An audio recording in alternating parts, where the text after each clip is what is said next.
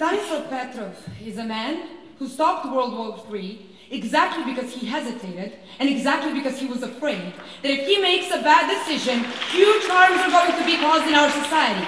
He got an information that Americans lanced the nuke and the Russians should do the same. Exactly because he was afraid of consequences, he hesitated to do that, didn't do that, and stopped probably the worst conflict that we would have after World War III. Fear. Fear is the thing that rather than make you make bad decisions, Madam Chair, is the thing that stops you from making bad decisions and from causing even bigger harms than you can cause them. Also, when, they, when the opening government mentions the fact that we will always believe that soldiers gave their consent, that is questionable because often in wars we mobilize people and we do not ask them, do you want to be in war and do you want not to be afraid of what might happen to you? Also, what we want to say, which opening government forgets, we erase your fear, but we do not erase your hatred, we do not erase your anger. We do not erase the fact that you cannot stand the other side. And those will be the things, Madam Chair, that, will, uh, that you will use. Those will be the emotions that will be included in the moment when you are making the cost-benefit analysis that Go Opening Government is talking about. We think that then your cost-benefit analysis is going to be even more harsh on the other side. Also, we think that whenever you have fear, that is the moment that stops you from breaking rules in war. Two reasons. Firstly, you're afraid what's going to happen to you. If you break the rules, are you going to be punished are you going to get caught? Second thing, you're afraid that if you cause huge harms and you break huge rule, what's going to happen to your entire fellows in the army in case that you really, really, really made something bad? The thing that makes you break the rules, Madam Chair, is actually hatred. Every genocide that happened, which is the clearest example of rule breaking, happened exactly because people weren't afraid and because people hated too much. And you do not erase hatred by the case brought by the opening government. Four things from Belgrade today. Firstly, why we think that fear is basis of humanity. Second, why we think that fear influences in your decision-making process. Thirdly, how we think wars will be even worse.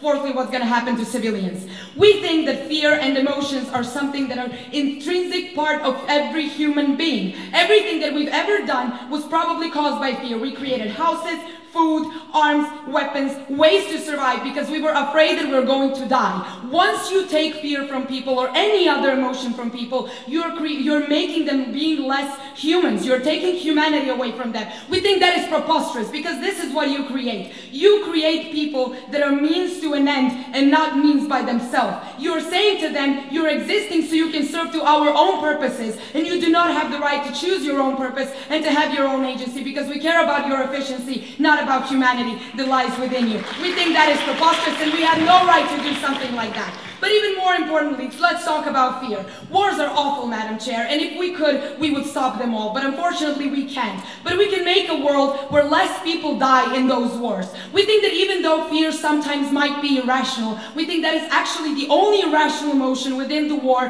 that stops you from doing preposterous and awful things.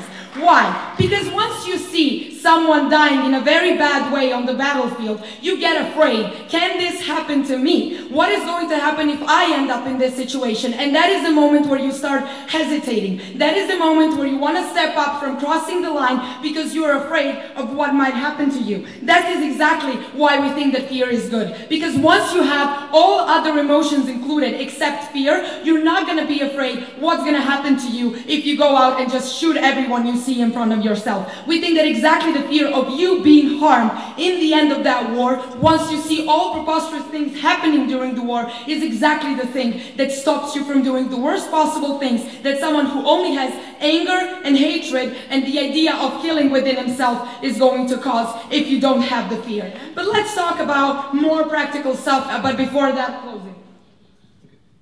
Right, but also in the modern world there are ways of removing fear. That's why a lot of war crimes are committed when people are drunk. That's why you give cocaine to soldiers in the First World War. Why won't they still be used? Uh, even if all the things that we are using right now can still be used, we think that even if you're a soldier on the cocaine, the fear sometimes might be the thing that stops you. One, you once you're not afraid, and I give you cocaine, and you're also full of hatred, there is literally nothing that can stop you from causing the biggest possible harm to the other side because you're so much on adrenaline and there is nothing behind in your brain saying you, oh my God, is this the right thing to do? Will something bad happen to me? Is this maybe too much? Because in that moment, you're just a machine. You're not a human being anymore that is driven by one of the strongest emotion any being has faced. Animals are also very important when it comes to fear. Every being on this planet did the most important things for themselves exactly because they were afraid of the fact that they're going to die. Instinct for survival and fear of death are two strongest emotions that any being on this planet has, and we are taking that from someone because we think that wars should be more efficient. Let's see what happens with wars. Once you have hatred and, uh, and, and, and hatred is the only two emotions that are staying, we think that is going to be the moment where wars will become even more worse. Because now genocide is not going to be something that you're going to be afraid of committing. Because you, have, you don't care, are you going to die in that genocide? You don't care if the other side is going to be the one punishing you. You don't care if your uh, general is going to punish you because you did something bad. We see that in Cold War. Exactly the fear was the thing that stopped people from, uh, from going through Cold War, from getting into World War III, because they knew this is exactly the worst scenario that can happen to us. In a world where you have nukes, Madam Chair, in a world where you have such a serious weapon, the only thing that probably stops us from using that kind of weapon is exactly the fact that we are afraid if we use it, what is the other side going to do to us? Now you are removing that. Let's also talk about civilians. So in wars, we also often tolerate civilians.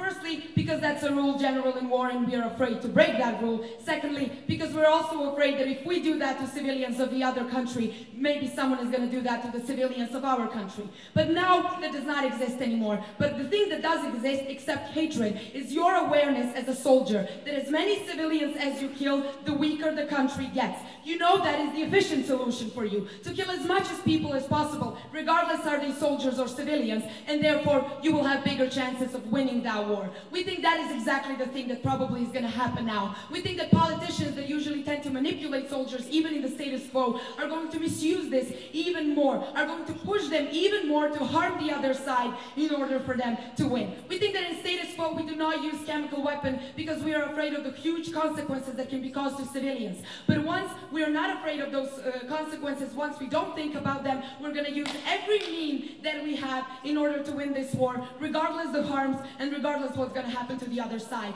Because we think that everyone should be treated as humans, because we think that fear stops us from making the worst possible decisions, and because we want as least possible dead peoples in war. Extremely proud to propose the, oppose this motion. Thank you.